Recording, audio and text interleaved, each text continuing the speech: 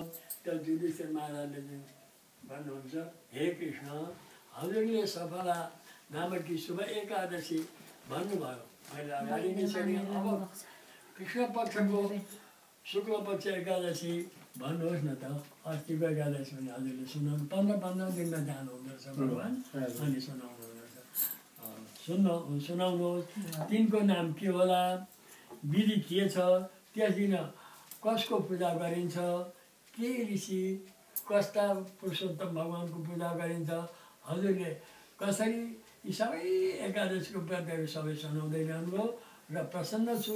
तैपनि श्रीकृष्णजीले फेरि भन्नुहुन्छ हे युधिष्ठिर हे राजन लोकको उपकारका निमित्त हजुरले सोध्नुभयो।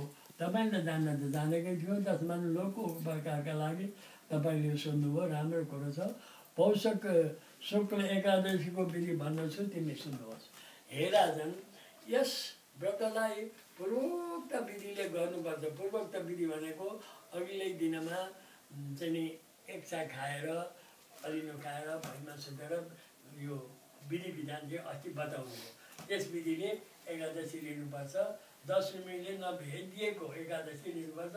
दशमीले अलिकति छ भने लिनु हुँदैन बरु द्वादशका दिन लिनुपर्छ। यस्तै बताएको छ भगवान्ले। श्रीकृष्णजी भन्नुहुन्छ हे हे राजन लोकको उपकारका निमित्त पौष शुक्ल एकादशीको विधि भन्दछु। तिमी सुन। हे राजन यस व्रतलाई पूर्वोक्त विधिले गर्नुपर्छ पूर्वोक्तमा बताइएको विधिले गर्नुपर्छ। यिनको नाम पुत्रदा हो। यो सब पाप हर्न गर्ने हुन् त हामीहरूका कायिक बाजिक मानसिक पापहरू हुन्छन्। शरीरले गरेका मनले गरेका यी पापहरू हुन्छन् शरीरले गरिएका मनले गरिएका यी सब पापहरू पनि गर्दै आएका सबै नष्ट हुन्छ यो सिद्धि प्रदान गरिन्छ र इच्छा पूर्ण गरिन्छ। जो आफ्नो जस्तो इच्छा गर्दछ त्यो इच्छा पूर्ण गर्ने यी एकादशीका व्रत हुन्। यिनका देवता नारायण हुन्। र देवताले कसको सेवा पूजा गर्नुपर्दछ भन्दा नारायणकै गर्नुपर्दछ। अर्काको गरेर हुँदैन। चरा चर चरा तिनै लोकका यिनीभन्दा श्रेष्ठ कोही पनि छैन। देवदेव देवदेवतामा सबैभन्दा श्रेष्ठ भगवानै हुनुहुन्छ।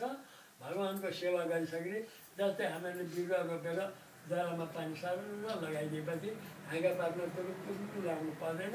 त्यस्तै गरिकन भगवान्को सेवा पूजा गरेर भगवान् जाँदा चाहिँ सबै देवदेवता खुसी हुन्छन्। र कोही पनि रिसाउँदैनन्। यो बुझ्ने कुरा पनि हो। हेरा चाहिँ यिनको जुन पापनाशिनी उत्तम कथा सुन्नाले व्रत गर्नाले हरि भगवान्को मानिसलाई विद्वान र यशस्वी गराइदिनुहुन्छ। त्यो सुन। र भगवान्को सेवा पूजा गर्नु भगवान्को दिन गर्नु गरेपछि के हुन्छ भन्दा उसलाई चाहिएको वस्तु धन ऐश्वर्य विद्या सबै पनि प्राप्ति भएर फेरि अन्त्यमा मोक्ष पनि हुन्छ। अब कथा भन्नुहुन्छ एउटा। भद्रावती नाम गरेको एक पुरी छ। जो भद्रावती नाम गरेको पुरी छ त्यस पुरीमा सुकेतु नाम गरेका राजा राज्य गर्दथे। त्यस पुरीमा सुकेतु नाम गरेका राजाले राज्य गर्नुहुन्थ्यो। तिनीहरूको सौख्या नामकी रानी थिइन्। तिनकी रानी चाहिँ शैव्या नाम गरेकी रानी थिइन्। पुत्रले हिम भएका ती राजाले मनोमानसित कार्य कार्य गरी समय व्यतीत गरे। तथापि राजाले आफ्नो वंश चलाउने पुत्र पाउन सकेनन्। सबै थोक गर्नुहुन्थ्यो सबै राजाहरूको आफू गर्ने पान पालन पोषण सबै प्रजालाई गर्नुहुन्थ्यो तर पुत्र थिएन अपुत्र थिए। यसकारण ती राजाले धेरै कालसम्म चिन्ता गरिरहेका थिए ती कसरी? पुत्र प्राप्ति होला कहाँ जाउँ के गरौँ भनेर छटपटाउनु भयो राजा। यसै कारण राजा सुकेतुले राज्य पुर यावत कहीँ पनि सुख प्राप्त गर्न सकेन। उहाँलाई कति हुँदा पनि भएन त्यो छोरो नभइकन अब छैन सन्तान छैन कसले के गर्ला यो ऐश्वर्यले के गर्नु भनेर उहाँलाई साह्रै छटकटी पऱ्यो यसै कारण प्रत्येक दिन आफ्नै पत्नीसहित तिनी अत्यन्त दुःखी थिए। साह्रै दुःखी हुनुहुन्थ्यो देखिसकेको राजा। राजा रानी दुई दम्पति नित्य शोकमा निमग्न हुन्थे।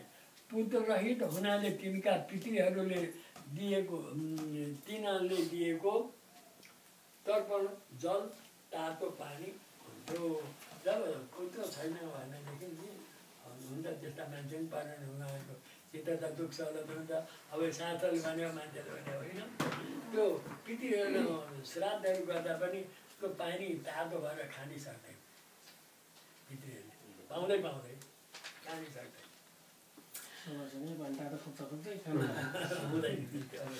राजा राजा मरेपछि हाम्रो वंशमा कोही देखिन्न जो तर्पण गरेर हामीलाई सन्तुष्ट गराओस् तिनको पितृहरू पनि त्यस्तै स्मरण गर्न दुःखी त थिए पितृहरू पनि अब दिएको पाइँदैन छोराले दिएको पाइँदैन के गर्नु दुःखी थिए पितृहरू तिनको दुःख दुःखको कारण बुझेर राजा पनि अत्यन्त दुःखी थिए आफ्ना बन्धु मित्र सुरेद अमात्य मन्त्रीहरू बोल्दैनथे सबै चुप लगाइदिन्थे अब के गर्नु दुःखको कुरो हो सन्तान छैन अश्व गज पद पदाचार आदि कुनै वस्तु पनि तिनलाई मन पर्दैन थियो उता हेरौँ अब घोडा हात्ती सबै अब सबै ऐश्वर्य छ तर केही पनि मन पर्दैन थियो राजालाई अब त्यो छैन आफूलाई भनेको छोरो छैन ती राजा अत्यन्त निराश हुँदा भए साह्रै निराश भए।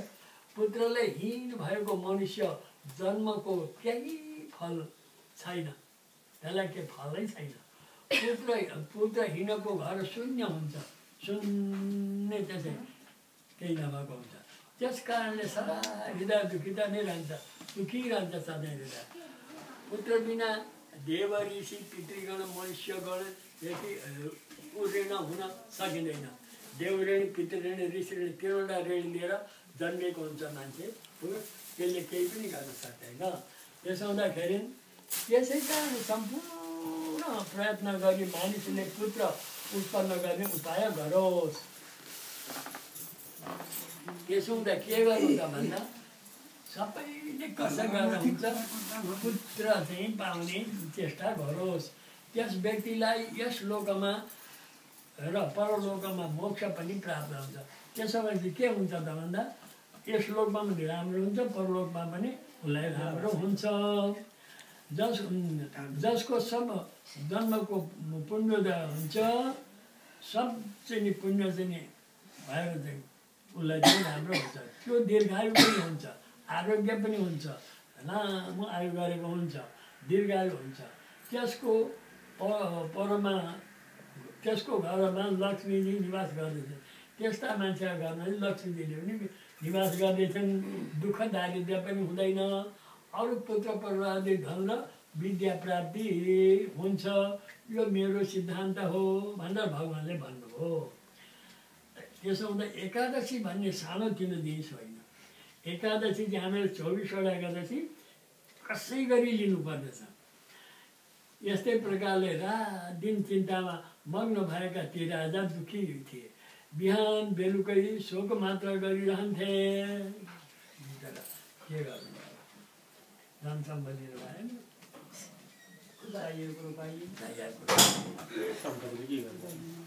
त्यसपछि त्यो सुकेतु सुकेतुमा राजाले आत्महत्या गर्ने विचार गरे। अब माथेर केही भएन मर्नु पऱ्यो भन्ने विचार गर्नु पऱ्यो।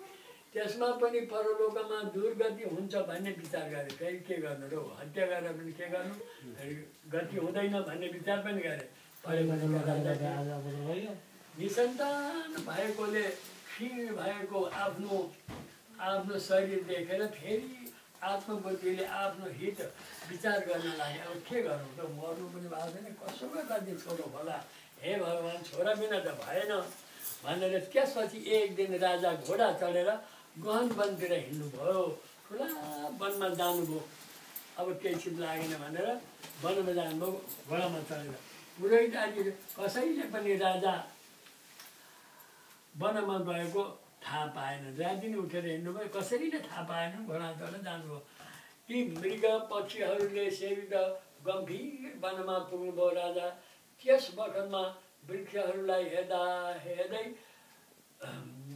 हेर्दै हेर्दै घुम्न थाले त्यही जङ्गलमा वरपर बर पिपल खर्जुर खर्जुर कटहर अशोक छत्तिवन तिन्दु तिलके साल ताल मूर्ति। सल्लाहका वृक्षहरू राजाले देख्दा भए अनेक अनेकका वृक्षहरू देख्नुभयो। फेरि घिउ फेरि चिउरी चिउरी खरी बहर लप्सी बर्रो बर्रो साग साग साख पनेरु।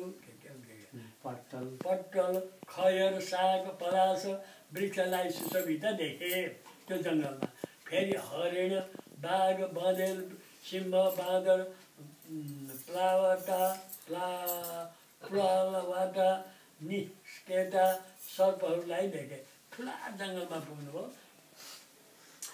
त्यस्तै बालकले सहित भएका हात्तीहरू चौरी गाई कृष्ण सार मृगहरू काला मृगहरू स्याल खरायो फ्याउरो क्रुर हात्ती जे भएका पशुहरू। फौजहरूमा चार दाँतवाला हात्तीहरूलाई पनि राजाले देखे तिनीहरूलाई देखेर राजाले आफ्ना आफ्ना हात्तीहरूलाई सम्झे उहाँ भएका थिए नि त उनीहरू। त्यहाँ भ्रमण गर्दा गर्दा ती राजा शोकाकुल भए। कहीँ स्यालको शब्द कहीँ उल्लुको शब्द सुन्दा राजा आश्चर्यपूर्वक वनलाई हेर्दा भए। वनका बिचमा गएका राजा पक्षीहरू समूहलाई हेर्दा हेर्दै भ्रमण गर्नाले यस प्रकार वनमा विहार गर्दा गर्दै मध्याह कालमा गहन वनमा पुग्दा भए। भोक प्यासले पीडित भएका राजा यताउता धाउन धाउन थाले। प्यासले घाँटी सुकेका थिए। विचार गर्न लागे मैले कुन काम गरेँ कि? कस्तो दुःख पाएँ? मैले त पूजा र यज्ञहरूद्वारा देवताहरूलाई सन्तुष्ट गराएकै थिएँ छन त। तर के कुन जन्मका पापले हो के भएको त्यसै आश्चर्य भयो। त्यसै त्यस्तै दान मिष्टान्न भोजनले ब्राह्मणहरूलाई पनि त सन्तुष्ट पारेको थिएँ ब्राह्मणहरूलाई मैले धन सम्पत्ति दिएको थियो खुसी पारेको थिएँ हे भगवान् आज मलाई के भयो? के गरेछु। समय समयमा प्रजालाई पनि पुत्र चाहिँ पालना गर्दथेँ। फेरि मेरा प्रजाहरू जति थिए प्रजाहरूलाई पनि म एकदम राम्रो गर्दथेँ कसैलाई पनि मैले केही गरेको थिएन राम्रै गरेको थियो के भएको भनेर राजा छक्क भरे। कसरी मैले यस्तो कठोर दुःख पाएँ नि? यस्ता प्रकारको चिन् चित्तमा चिन्ता गरेका राजा अगाडि जाँदा भए त्यो सम्झिँदै सम्झिँदै बढ्दै हुनुहुन्छ। अगाडि गएपछि पुण्यको प्रभावले कुमुदिनीले सुशोभित मान सरोवरको तुल्य एक अत्यन्त मनोहर सरोवर देखे जाँदै गर्दा राम्रो पोखरी दिने अब पुष्पले ढाकिएको राम्रो पोखरी देख्नुभयो जो ग्राह माछाहरू जलचरहरूले सहित भएको फुलेका फुलहरू शोभायमान भएको र- राजहंस